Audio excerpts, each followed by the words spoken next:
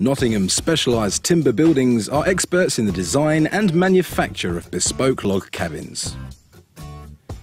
After an initial face-to-face consultation, we'll plan your log cabin to your exact specification and build to completion with a perfect finish.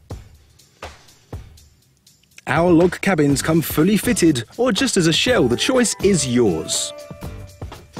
We supply our own high quality product by our very own highly trained and fully qualified workmen.